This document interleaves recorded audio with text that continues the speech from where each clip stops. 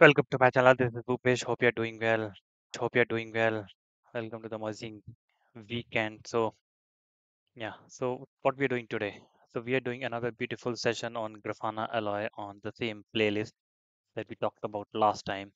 So, today we'll be understanding how to use Grafana Alloy agent to do the uh, logging monitoring. So, Grafana Alloy, again, just a quick background, is a agent that is gonna replace Grafana agent uh, by end of 2025 so that is already deprecated. So better to do that migration or understanding before that uh, gets rolled off right? So a quick recap what we have done is in the same playlist. First of all we understood how to bring uh, matrices from a ubuntu or a vm machine using grafana alloy agent and uh, understand that thing onto a grafana cloud or grafana local instance and then second session was on to understand install and configure grafana alloy agent metric setup on Kubernetes cluster. Right. So today we'll be understanding how to send log, okay, logs using Grafana Alloy uh, agent, which is an OpenTelemetry uh, based collector to uh, to your Loki instance, and then see uh, the logs on Loki and validates all the logs in Grafana local by adding Loki as the data source. So let's not wait any, waste any further time. Quickly go back to your practical session, and before we start, do not forget to like and subscribe the channel. This will help you to understand a lot of other video sessions in the same playlist, or other playlists like Grafana, Elasticsearch, Kubernetes, and so on, open OpenTelemetry also. So I've created a GitHub page for this entire uh, session. Will be you can get this details of this GitHub page in the description of this video. Be very sure to check that to check the description of this video so that you can get the other videos pertaining to it. So let's get started. Let's not wait any further time on this. So this is the page that I'm referring today. So yeah, this is a small uh, description. What is an alloy? It's a flexible open telemetry based collector, uh, which can send your metric logs and traces to any uh, you know endpoint. So for the first and the important point is install alloy on our Ubuntu uh, server or on any VM machine. So you can simply follow these steps. Since I've already done this thing in my previous session, I'll just skip it and then uh, we'll simply go onto the Ubuntu machine and we'll see whether my systemctl alloy. So this is, let me check whether it is running or not. This is already running. So we'll just simply reload this alloy. Okay, and then we'll start the alloy. We'll check the status. So uh, this is the vanilla installation we are talking about. Okay, so alloy is already running. So let's understand the important piece, how to configure Loki on this. So, you know, if you have already installed Loki on the same machine or different machine, you can quickly route that thing onto my Alloy configuration. If you're not done it, you can simply go to this page and install Loki on your uh, home machine. So let me see whether my Loki is running or not. So let me see Loki instance is running on port number 3100. So it is already running, so which is good. So my Loki is running. My Alloy independent is running. Let me create some dummy files. Okay. Uh, so that I can take those files uh, to your uh, Loki instance, correct? So I'll just run these commands. It will create a folder called temp alloy and this will create certain logs this. Okay, we'll parse all these logs and we'll send all these logs to the uh, Loki using Grafana alloy. So these are the logs that I want to capture or these are the logs which I want to read it. Okay, now let me make some more changes so that I can see the latest log. So let me do. And this is all coming from a documentation. I'm not, not doing anything rocket science. So now this will contain your okay my bad. So let me run this thing again. Okay. And then i'll run this. I want to append this data. I don't want to. So this should be like this. Okay perfect so let me do. Now i have four lines. Perfect. So let's modify the logging configuration of Grafana alloy. So i'll go to this. I'm already into this folder. Etc alloy. Okay. Fine. And then uh, I need to uh, see this logging file. So this you need to understand it very slowly. So uh, I'm using that Loki receiver. So what I'm saying that this is my local dot file match. The the the the the keyword for this, and you need to target this path tmp alloy.log and star.logs. So any file which is having a uh, dot uh, log file, it will be get monitor. It will be get scanned. So if I go at to this location, if I you know create one more log file, uh, you know vim abc.log. So understand this session properly so that you can so you have two logs file fine. So it will read all both these two logs file and this is the loki dot source dot file okay what i'm saying? From what, are the sources? So this is the alias for this. So so this is the source. Basically what i'm saying this is the source see? This is the source okay? And it will get forwarded to loki dot process to i'll come on to this add new label it will process to this. So what i'm saying please uh, read this file but add a new label also. Now what is how that label will get added? So i'm i'm breaking this file also. So log format i'm saying mapping is this. The the extracted level is the content. Okay so what i'm saying uh, content of this file. So content of this level equals to this basically. Content of uh, this level will go to this variable. Content of this message will go to this. Now this is the mapping. And what i'm saying now create a label. So this is the new label that will get created in my loki uh, so this is the first variable. And that is nothing this will get the uh, value like info warning debug info. Okay the same value which we have extracted earlier. And then this is the one extracted message from here so this value. So potentially what i'm doing i'm reading star.log and then creating two new columns okay? These columns are uh, extracted column. Fine. Now i'm forwarding to loki relabel relabel receiver. What is the receiver? I'll uh, loki relabel add elastic and label receiver. So so now this is this is actually a pipeline. So this is getting forwarded to this guy.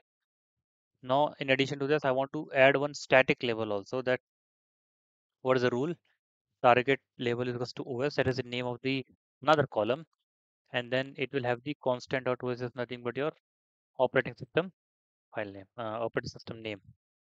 Fine now everything will go to your loki dot write see this is the last piece of this grafana alloy okay? So everything will, will get forwarded to port number 3100 where loki is running into api push. So the file will be scanned one by one new labels will be extracted new label will be added as a static label and then everything will be get forwarded to this uh, loki api push url and then i will add loki as a data source in my grafana and then we'll see the results in grafana. So this is what I'm explaining here. Copy the contents of config underscore login dot alloy configuration from this report to this etc alloy directory and then restart alloy agent so understand this piece very clearly because you will not find anything related to this on Google or YouTube because this is something pretty fresh topic on Grafana Alloy. And then next session we'll do the Kubernetes logging also from pods and containers. Okay, so let me just do a quick restart and let me see whether the content has been already pasted or not. So cd etc alloy. Okay. Now you can see every I I've already pasted everything here. Okay. Now I'll do a sudo systemctl restart alloy and then I'll see the log for this. So there's no adverse error here. Okay. The logs are coming nicely. of this alloy agent. Let me verify the log on Grafana. So I'll go to my Grafana, which is already running on port number 300. So if you do not know how to run Grafana, you can see any of my Grafana playlist and just install Grafana locally. Now the Grafana is already there and I have a data source called as Loki, which is up and running. It is running a port number 3100, which I just showed you a little while ago. Now Loki is there, so let me go to explore and then I'll just do a uh, filtration. Uh, this is the first filtration. See, I'm getting both the files. If I see, I'm getting uh, data from this. If I select other file, I can get the other data. See, uh, if I uh, expand this, I can see all the different different labels that I've generated. So level info, message is message, OS is Linux. See, so this is coming nicely as a different different messages. So I can either do this and then I can add certain other filtration also. Suppose I want to get only the info related filtration, right? Message info, right? I can do a filtration like this. Now suppose I don't want to do, the, do it like this. I'll do like this. Okay. So there's a different way of doing any work. So I can do like this. File name equals to suppose log.log and then I can get Linux and then I can do level as info and then run it. So I can see info level messages from that file, correct? So this is how you check the logs and this is a very basic example I've taken it. I have not taken anything super complex so that you can understand how this entire logging pipeline works in Grafana Alloy. Now this is something interesting I have shown it to you. Now I'll do one more a bit complex thing. So let me go to my Prometheus. So what kind of matrices are coming in this? So currently uh, Prometheus is having only I think it should have only uh, the Prometheus endpoint matrices. Okay, both I'll do this. Yeah, only Prometheus, which is being monitored by Prometheus. Now I will inject. Now this is a very very important point. You will not get this thing anywhere. So now I will inject inject your matrices data also. Okay, matrices so that with the same alloy agent I can send matrices. I can send the uh, logs also. So I'll come here. Just understand this piece sudo vim config.alloy okay? At hmm. the end i will just so this will process all your now this will process all your matrices. So again simple to understand I'm, i want to scrape matrices from 1990 okay? And i want to scrape matrices from 9100 which is nothing but your node exporter and then send all that data to prometheus remote right? Into the same alloy now i will just restart my alloy and we'll see the whether there's any error or not. Okay? And then I will just see the error. Mm, there should be not any error. Let me just do a uh, restart of my Prometheus also.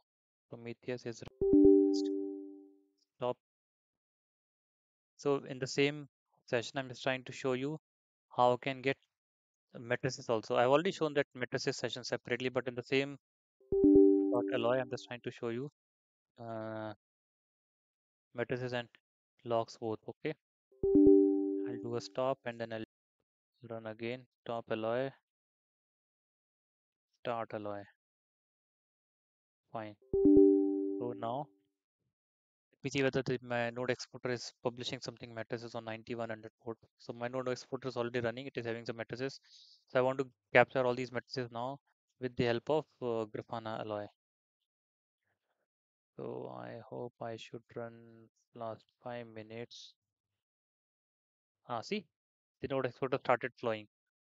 And this is coming from your uh, uh, grafana alloy configuration.